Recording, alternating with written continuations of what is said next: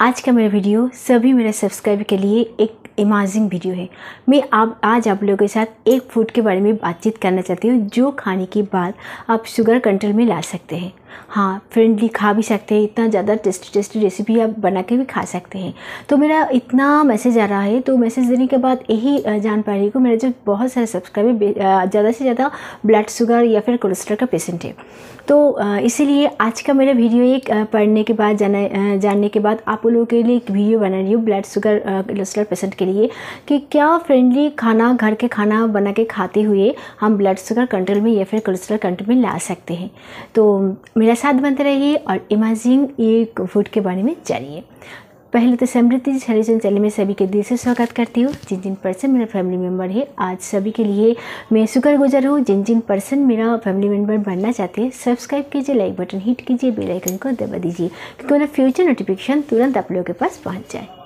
मैं ज़्यादा से ज़्यादा वक्त नहीं लेंगे डायरेक्ट टॉपिक पे आ जाते हैं ओके हाँ देखिए हम सभी जानते हैं ब्लड शुगर जो पेशेंट है, वो मतलब अगर वाइट राइस खाए या फिर वाइट राइस छोड़ देने के बाद ब्राउन राइस खाते हैं, फिर भी शुगर कंट्रोल में नहीं आते हैं कोलेस्ट्रॉल भी कंट्रोल में नहीं आते हैं तो वो अगर घर का खाना, बाहर का खाना नहीं खा सकते, घर का खाना नहीं खा खाएँगे तो ब्लड शुगर बढ़ जाता है गलसे में इंडियस बहुत सारा खाने के अंदर है राइस खाते हैं, आपका चूरा खाते हैं, फिर क्या होते हैं, फिर भी हम टिन्स लेके हम खाते हैं।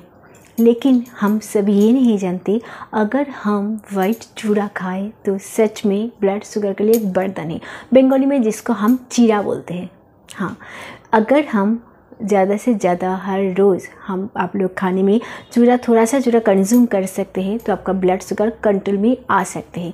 क्योंकि देखिए हम सभी जानते हैं बहुत सारा पर्सन आपका वाइट राइस खा, खाने से डरते हैं इसलिए ब्राउन राइस में आ जाते हैं। ब्राउन राइस से भी ज़्यादा ही आपका वाइट चूरा है।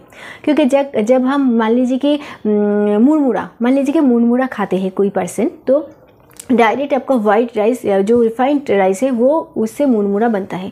तो आपका भी क्लोरिक थोड़ा सा भी रहते हैं। लेकिन अब अगर चूरा खाए तो वाइट चूरा उसका जो रिफाइन होने के बाद बहुत ज़्यादा प्रोसेस होने के बाद ये चूरा आपके हाथों में आते हैं। उसका भी क्लोरिंग जो है वो कम हो जाते हैं। ज़्यादा से ज़्यादा आप ये वेजिटेबल अगर खाए तो पेट भी बढ़ता है आपका आ, क्या बोले आपका शुगर जो पेशेंट है वो गैस में इतना कम है वो टेंशन वगैरह छोड़ के आप खा सकते हैं। कोलेस्ट्रॉल पेशेंट भी खा सकते हैं। तो डायरेक्ट कहीं पर भी सर्च कर लीजिए, देख लीजिए, चूरा ब्लड प्रेशर के लिए एक वरदान है। का अंदर जो जो विटामिन है मिनरल्स है उससे ज़्यादा, से ज़्यादा कार्बोहाइड्रेट है, उसके थ्री पॉइंट के ऊपर उसका फाइबर है।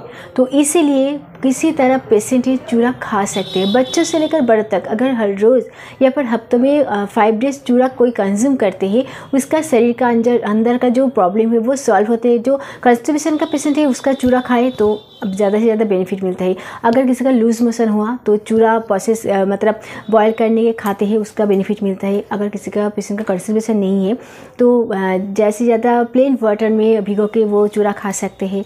मान लीजिए कि किसी तरह शुगर पेशेंट कोलेस्ट्रॉल पेशेंट अगर ब्रेकफास्ट में चूड़ा लगते हैं तो एक मतलब क्या हैं, बहुत ज़्यादा वेजिटेबल ऐड करने के बाद वो चूरा खा सकते हैं।